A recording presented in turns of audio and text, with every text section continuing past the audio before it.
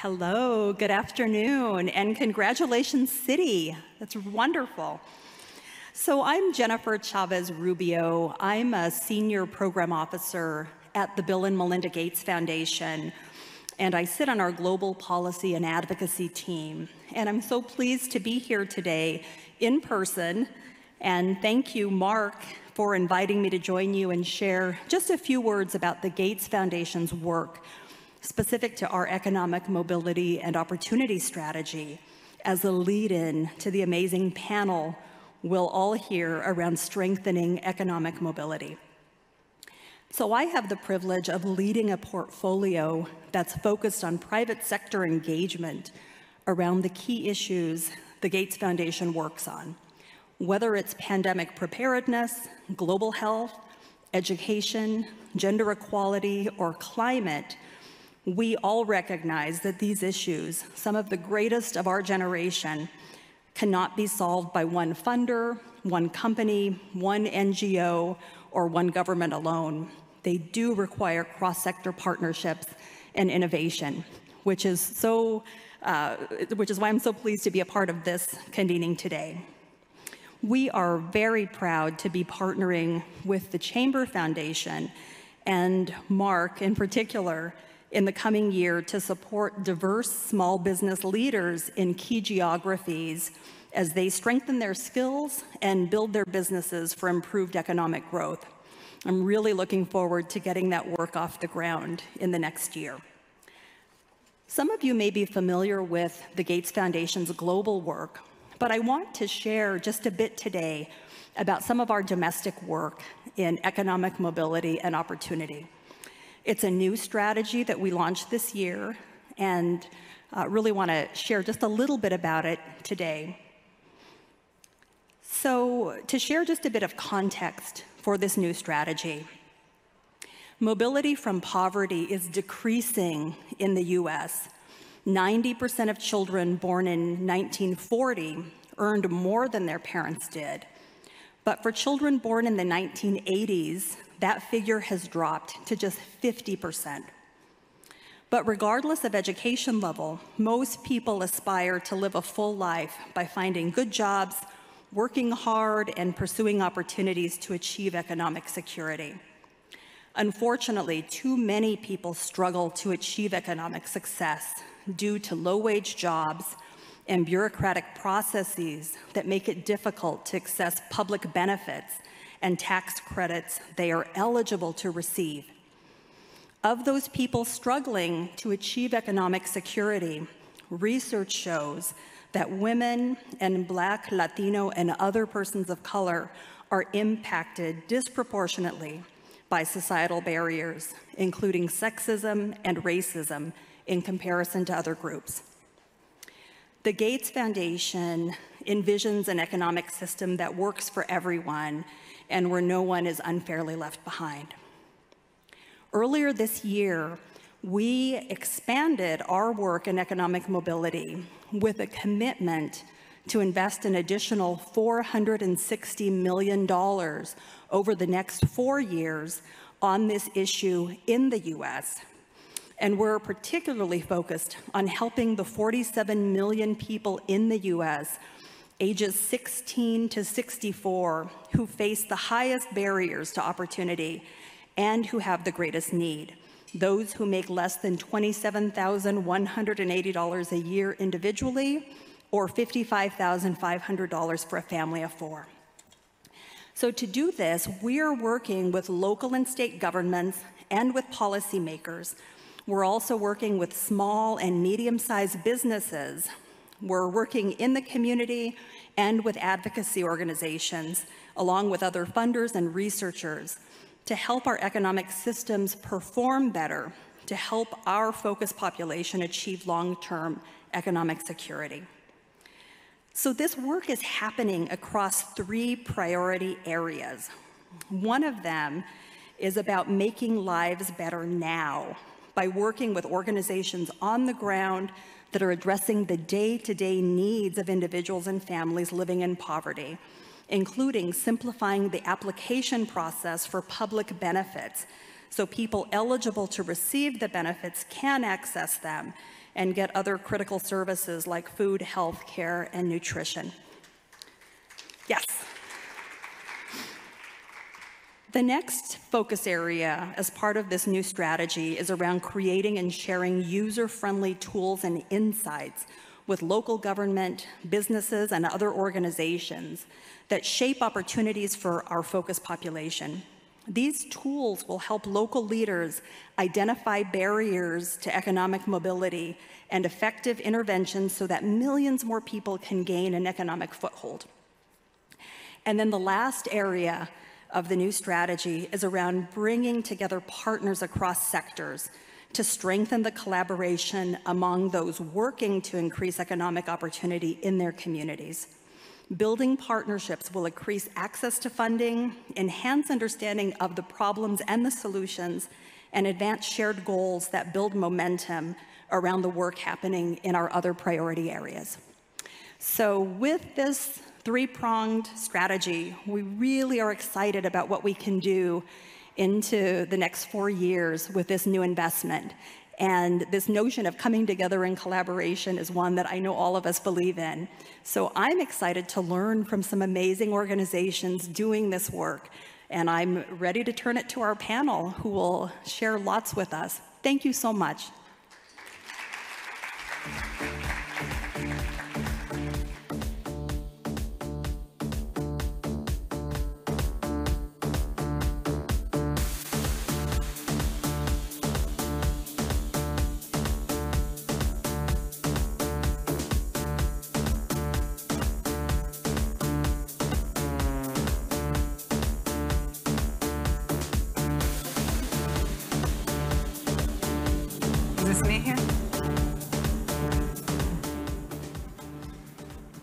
Well, thank you so much, Jennifer. Um, she mentioned that we're partnering with the Gates Foundation here at the U.S. Chamber Foundation. Um, I wasn't going to make that announcement today, but I'm so glad she did because it's such an exciting program.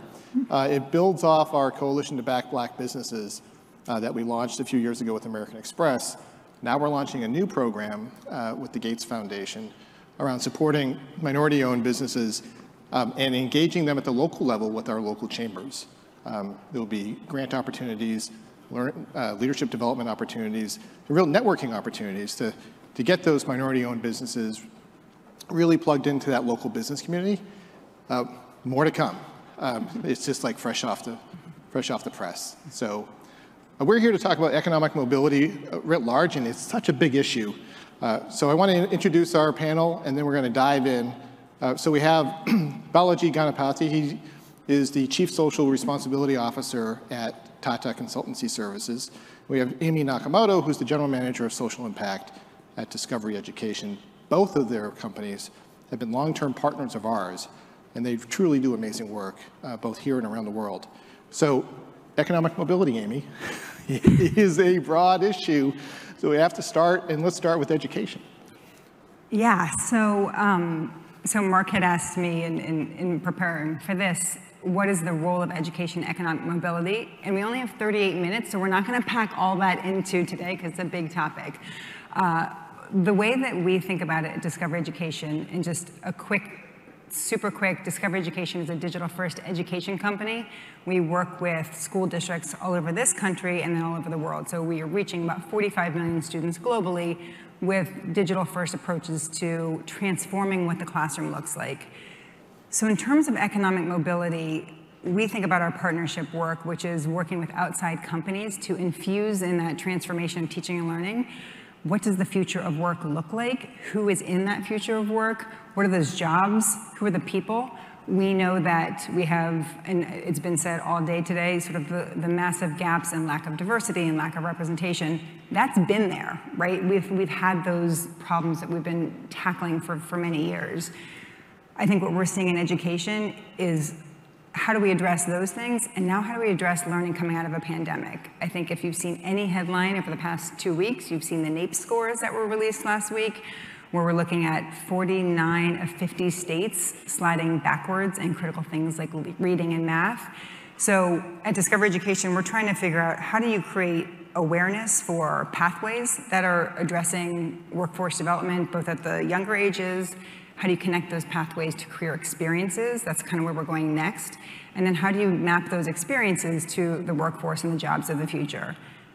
But now we've got to go also back to how do you supporting teachers at the very young ages and talk about basic math and literacy so that one in, instead of one in four students in eighth grade being ready to prepare themselves for math instruction or computational thinking, as we've done with TCS for years, we need to get those numbers up. So we're looking at economic mobility as the complete K to 12 pathway to post-secondary, and it's a huge job.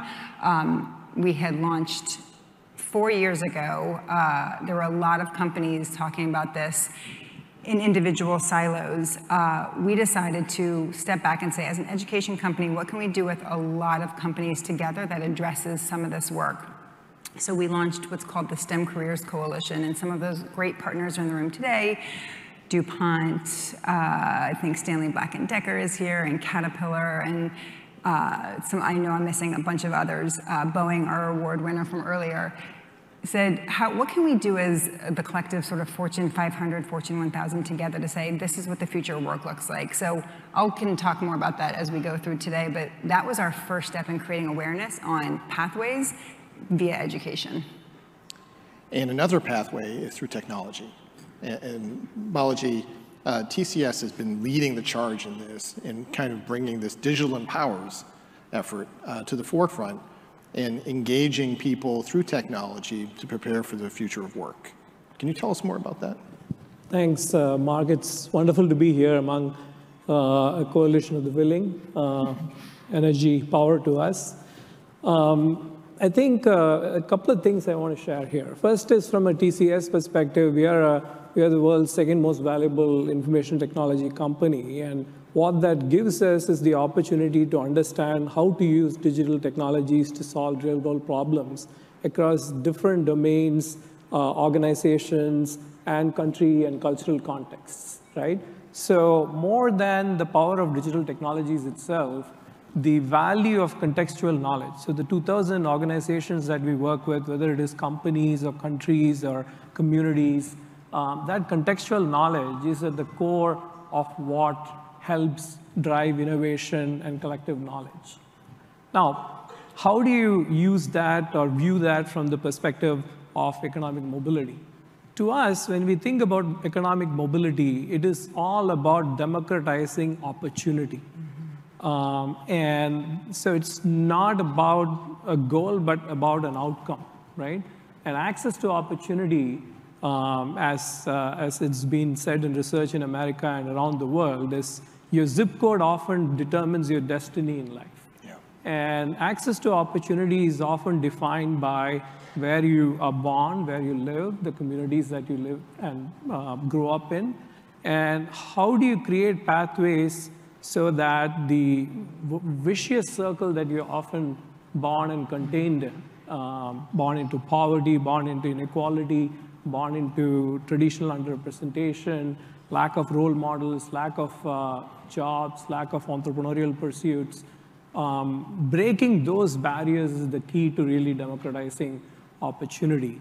And technology is at the core of that, right? So we look at it, for example, um, you know, one of the lenses with which we view economic mobility is uh, the, you know, the, the models put forth by Hans Rons Rosling and the Gapminder Institute, for example, which segregates the world into four different income levels, right? Under $2 per day income, which is the ultra poverty of the poor, and then 2 to $8 per day, 8 to $32, and more than $32 per day. And that helps you really identify with the kind of life that you would be living if you were to be in that income level.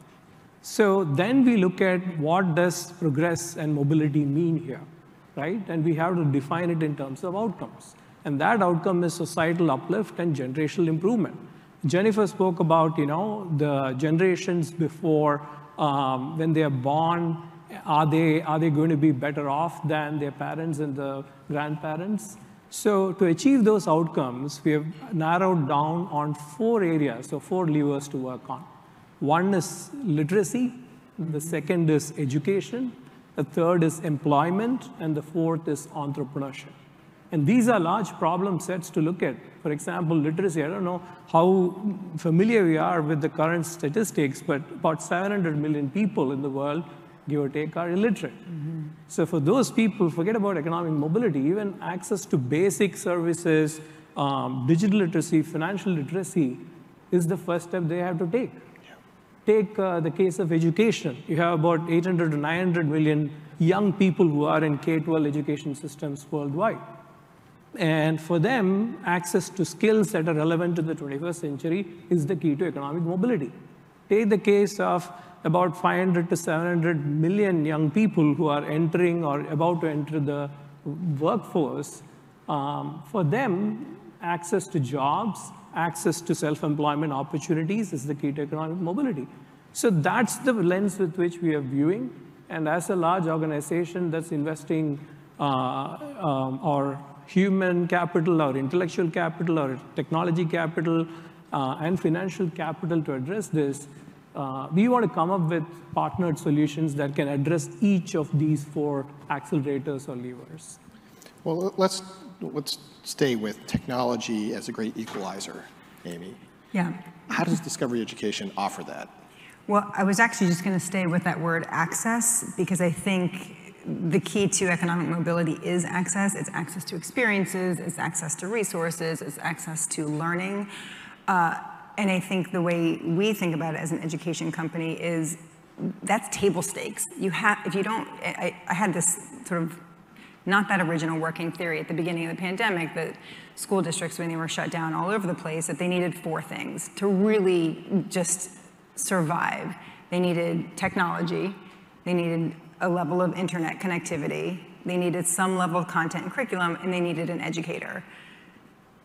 All four of those things were not stable in any of our communities, right? So there are lots of folks that showed up and helped on the devices and connectivity front, and then school districts were sort of like on their own. So what we try to provide as a company is certainly that access, but we can't do that without partnerships that are bringing and closing that gap between what the real world looks like. I think we made this hypothesis 15 years ago and we stood up our social impact business that if we, if we have the power of technology to infuse the real world, so taking kids on a virtual field trip to you know, the Johnson Space Center with Boeing, then we can unlock anything.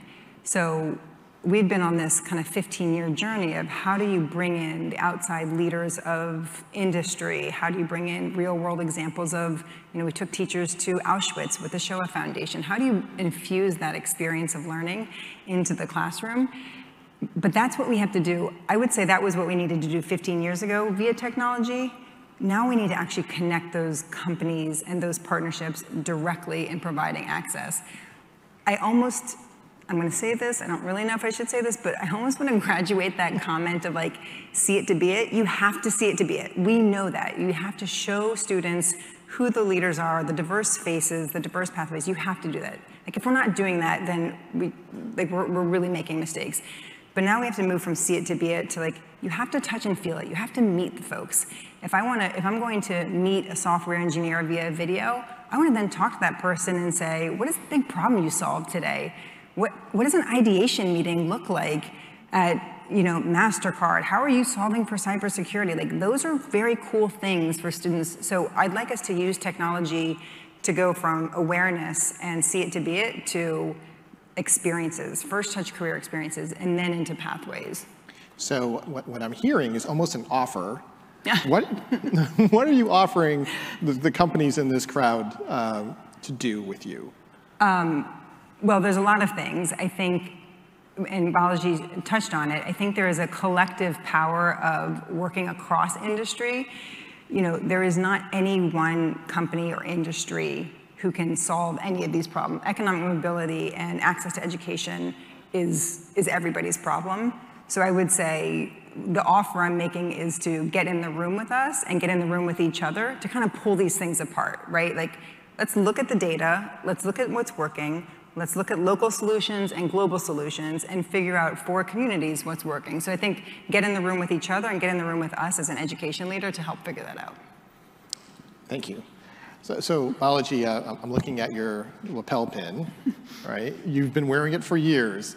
And, of, of all the CSR professionals I know, when I think of the UN SDGs, I think of you. Um, you travel the world, you see a lot.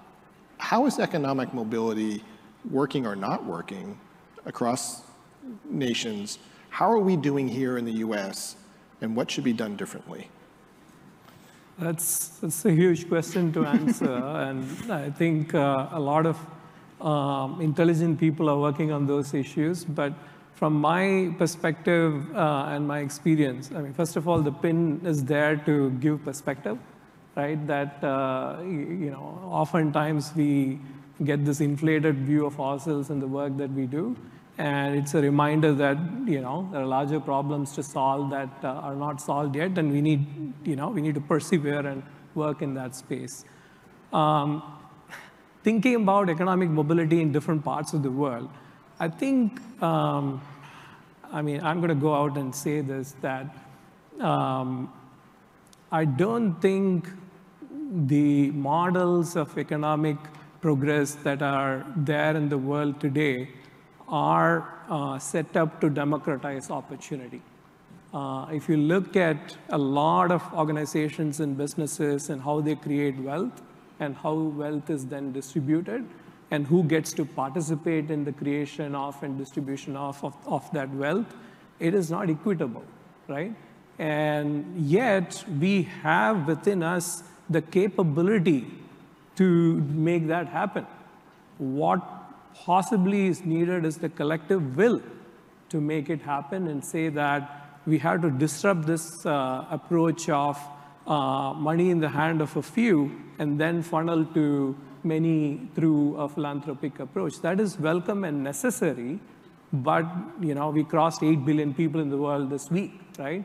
When we get to 10 billion by 2050, are we going to have more problems in our hand that we need to solve?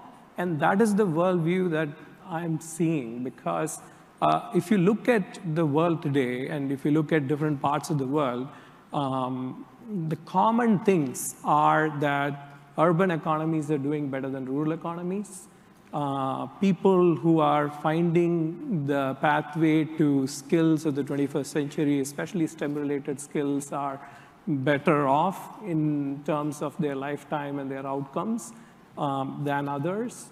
Um, and that holds most of the places around the world. But if you look at the education systems or the healthcare systems or the um, social safety net systems around the world, they are still, um, you know, grappling with the problem of the rural economy and how to cater to people who are not either having access or we don't even know what kind of needs exist.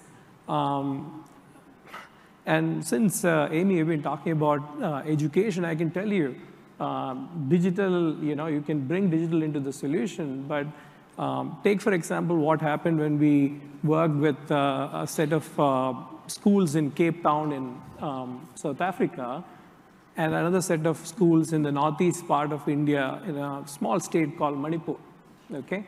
Real world example.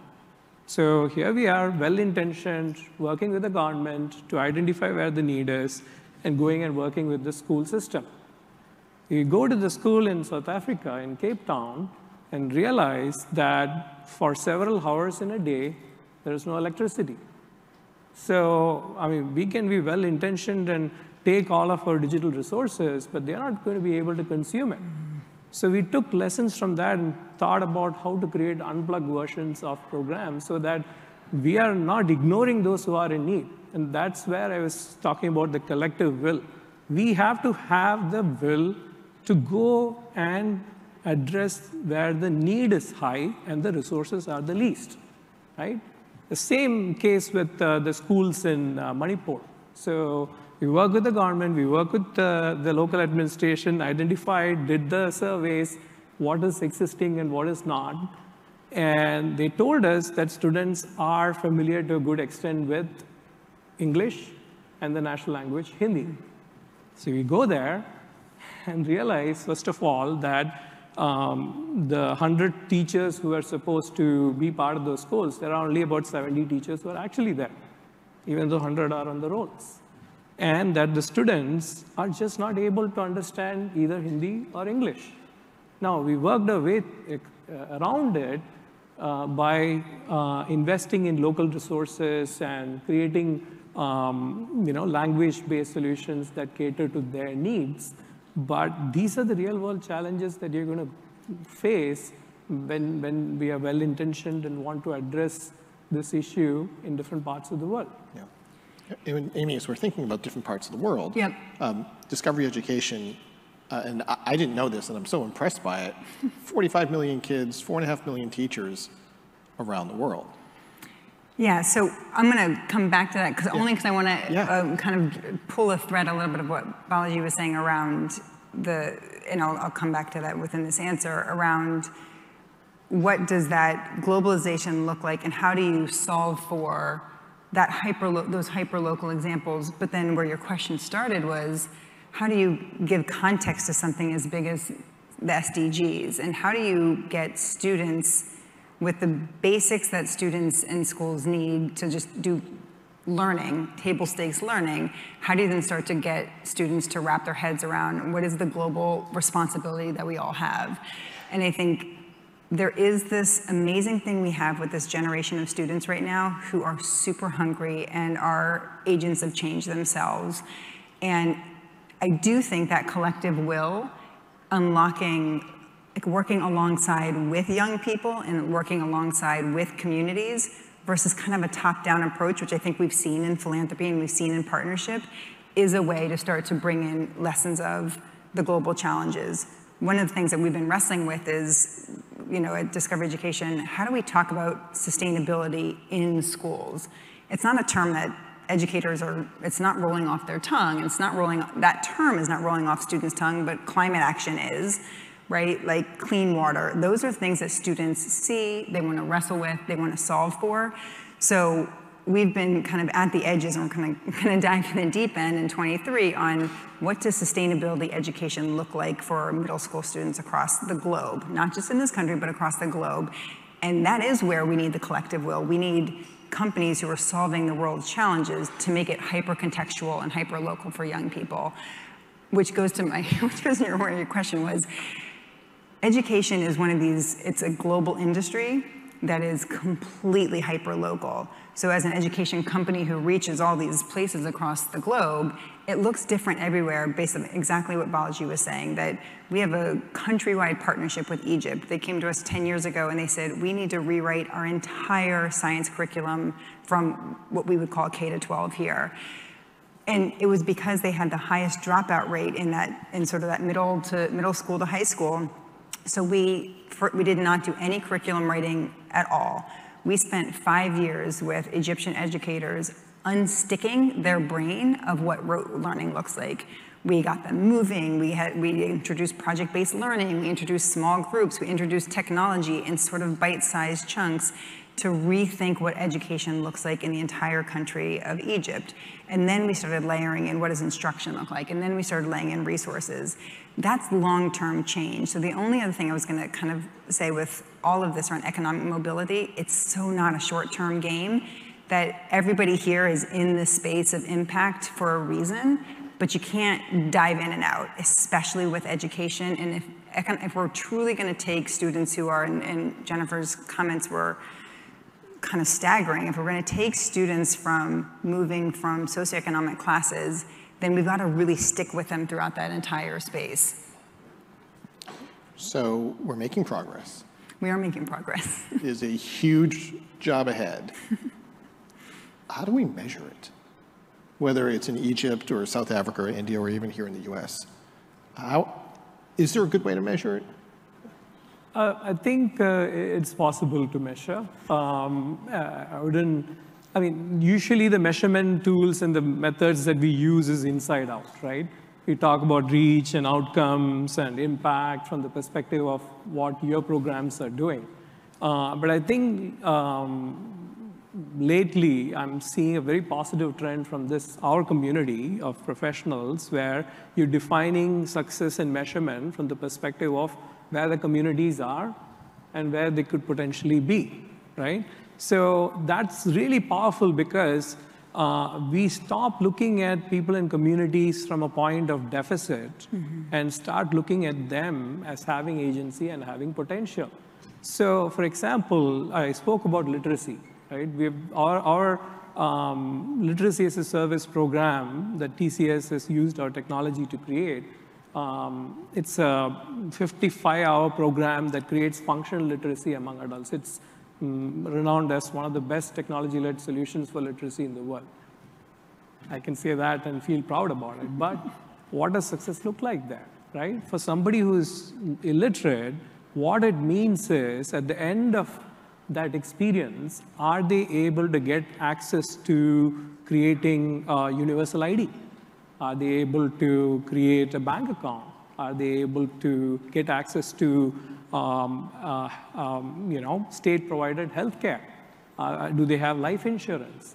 And to me, you know, that's tangible measure of success.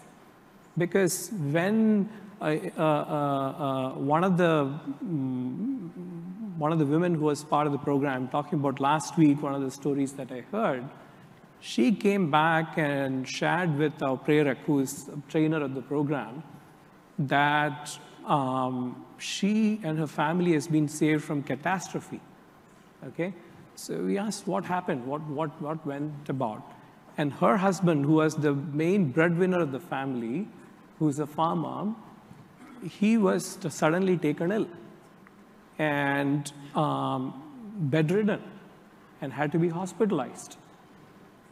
They spent two lakhs, which is um, the equivalent of about um, $2,500 in US terms, but that's their entire life savings. And had she not signed up for the state provided health insurance program, their family would have nothing left. So, this is actually resources that are available that they don't have awareness about, that they are entitled to. And now, by gaining access to that, they have at least control of their destiny, right? It is not determined by a calamity or an odd event in life. So that kind of outcome defines success at an individual level. Or take, for example, um, one of the points I wanted to stress on is the role of entrepreneurship in economic mobility. Right? We often talk about the urban-rural divide. And I think it is important that we think about it not from the perspective of urbanizing rural economies, but ruralizing rural economies. So how can you help non-consumers become consumers and help the community grow on its own? So there, one of our programs is called Bridge IT, where we work with um, rural marginalized youth who are often considered as untouchables from a caste perspective in India and work with them for a five-year period, okay? Provide them the tools and the resources and the training and the support system, work along with the village to create um, a safe environment where the elders of the village actually propagate for them, build trust, and create a small business where they can serve the local needs of the people in the village. So this is running in about 2,000 villages in India currently. What does success look like? The villagers get access to citizen services. During the pandemic, these entrepreneurs were the only ones who were able to provide financial services to the people in the village. The average income of the entrepreneur is four times the average income of a household in the village. The average entrepreneur is today, who is a woman, marginalized Dalit woman, is today uh, employing at least two to three people on an average. And the amount of cash flow and income flow that happens in the village is adding to the GDP at the village level. So there are social progress outcomes to see and economic progress outcomes to see. So, um, so that's what I wanted to offer as two examples um, to think about it from a community and people perspective and what could be potential success and how we can contribute to that. Yeah. Uh, we play a part, but so many people in the room here and organizations can play a part in these sort of models. As long as we consider people and communities at the center of this ecosystem, not insert ourselves as the center of that ecosystem. can I jump on that as well Of and- and, talk yeah. about a, a different way? And I, partly when I heard your question, I was like, I want to kind of ask the room, like, how do you guys measuring this? Because I think this is one of the biggest conversations we can have, right? How are we starting to measure, truly measure beyond reach and engagement? Like, what does that change look like? How do, how are the community members that Balaji's talking about, how do we know that what we're doing is working? And again, that's a long-term game and it's expensive and all the things that we need to invest in.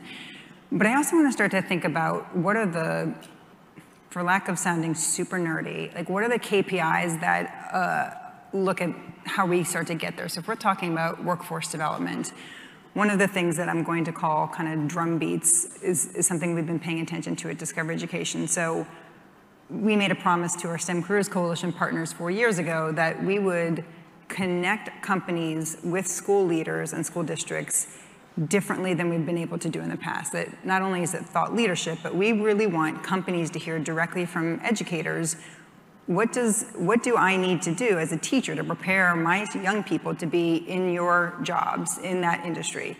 And then we similarly wanted companies to hear from educators you know, like these are the challenges that I have from 7 a.m. to 3 p.m. and beyond. And when you invest in us as, as a community, here's what's helpful and here's what's not. We didn't want to be in the way of that. So, so one such drumbeat this past, I want to say two months ago, and we'll call him out, but Pat McCrummon had, DuPont had the state leaders in the state of Delaware to the DuPont headquarters. And it was this really momentous moment where industry was talking with educators and it was an equal playing field. Just saying like, here's what we're doing, here's what we're doing, here's what's working, here's what's not working, here's what's next. Two months later, we repeated that. We had the um, government affairs team from Boeing talking with the state leaders at Oklahoma. Just Monday, we had in Elko, Nevada, a very rural county in the northeastern corner of Nevada, we had Nevada Gold Mines with the state superintendent talking, just again, talking with each other about how do we look at the numbers of graduation rates, how do we look at preparedness. So those are three drum beats. Yeah. If we can measure drum beats of all the ways that we're connecting companies directly with the people who are talking with and working with teachers every day, then let's say this time in 2023, we have 24 drum beats. We've got, and then we're starting to build this place where we're breaking down those barriers of like, here's what one industry needs, here's what educators need, and here's what students and communities need. Yeah, and uh, coincidentally, we heard that when Anita was up here with KPMG and from her high school teacher that she brought with her, right? Remember? He, he said that. And the teachers are saying this, you know, let us come to your company, not just the students, but the teachers and the administrators as well, so we can learn and see what it's like for you every day and what you need, and vice versa. Let's invite you into our schools so you can learn and see what we need uh, and make that partnership. And the Chamber Foundation's Center for Education and Workforce has been at that for a while too. And you've got great companies like Discovery Education who are you know, putting the pieces together. And I think that's where we're going to go next is around partnerships, right? We cannot do this alone. Uh, it has got to be the private sector, the public sector, nonprofits, all in. Balaji, what are some of the best partnerships that you've seen to help advance economic mobility? And that's, that's an opportune question, especially in a forum like this. Um, I think um, the best partnerships are ones where people share your common sense of uh, purpose in terms of what the intended outcomes are, and then are able to really rally around their respective roles, right? This is easier said than done. I mean, we've, we've had our dance over the years, and it took time for even an established organization like um, Chamber and for TCS to come together around common goals, right? So intentions are always good, and you want to have certain outcomes, but I think uh, it requires patience and perseverance and openness to understand that there could be unconventional partnerships that can be formed. Take, for example, our student-facing program, GoIT, which is today in 43 countries around the world, uh, delivered in about 13 different languages, aimed at girls and underrepresented minorities. Um, each of them are shifting from being consumers of technology to creators and innovators. They are identifying local problems, and they are able to uh, come up with solutions and use technology to solve those problems. Now, here, the fundamental construct is content, context, and connection. These three are the elements of the success of a part partnership or a model like this, right? So who can bring in content? TCS can bring in some of the industry content, but who is going to help with pedagogical input so that it is aligned to curriculum, aligned to the learning needs of people, right? Context, how do you apply that in the real world? We work with about 160 of our clients on this effort. So um, they help contextualize it from the perspective of a financial services or an automotive or a telecom a business or a, a healthcare business. They bring that context. And finally, the connection, right? Connection in terms of access to whom is in need. Their nonprofit organizations, school systems can play a big role, but also connection to real world experiences where employees from your organization uh, can really be that if you can be it, mm-hmm. if you can see it, you can be it mm-hmm. uh, models, right? Yeah. So partnerships in that sense with uh, organizations, but also internal organization. I think uh, many people today spoke about um, using or drawing upon the power of networks within the company itself. Right? We have 600,000 people working for TCS around the world. That's our best capacity to use in terms of solving the connection problem, right? So uh, in that example, con con content, context, and connection, these are the kind of partners that bring it to life.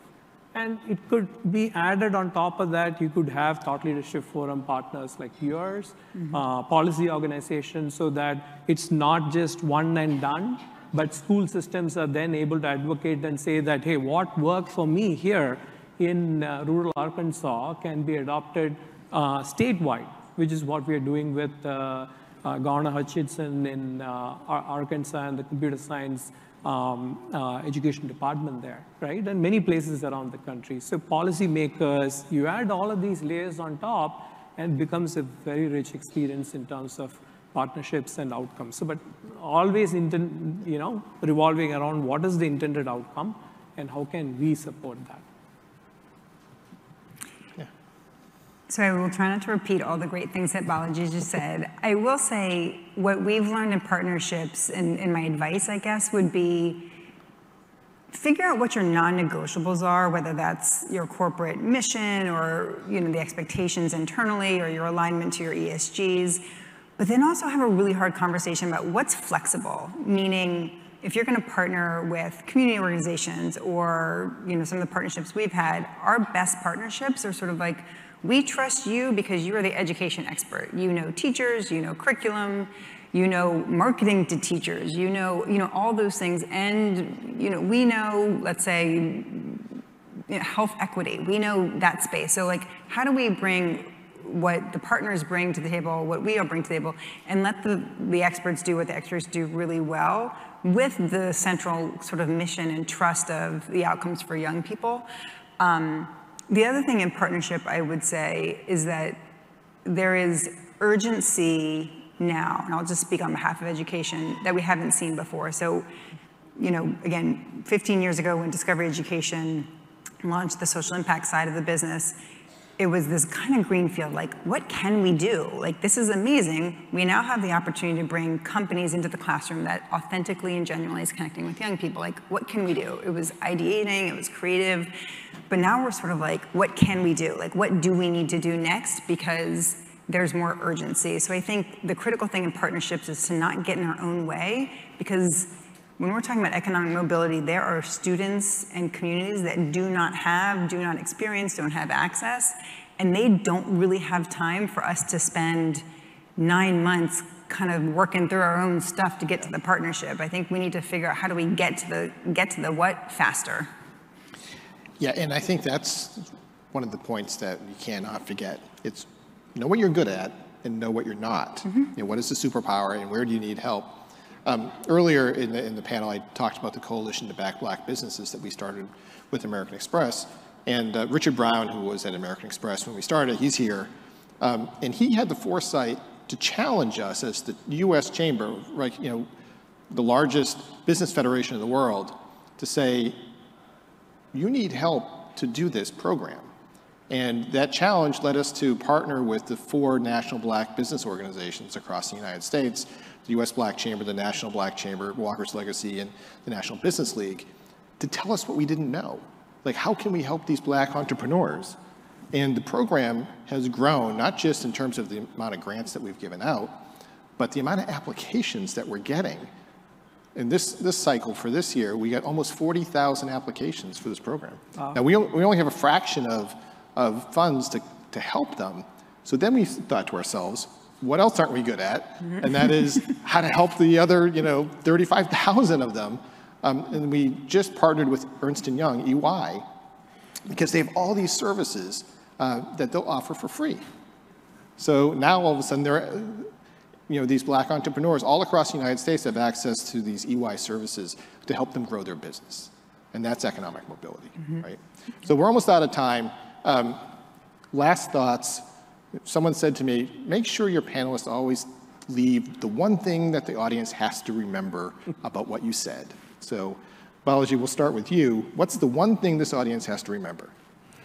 I think stay true to your purpose of uh, democratizing opportunity and understand from your perspective what that means for whom you're trying to serve.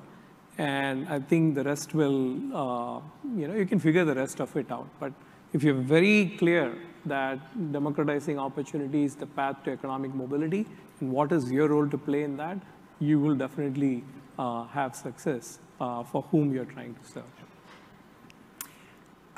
So last week, I was at an event with, um, I was sitting next to the Utah Teacher of the Year. He was a sixth grade teacher at a Title I elementary school in Utah. And I said, I am going next week to talk about economic mobility and education.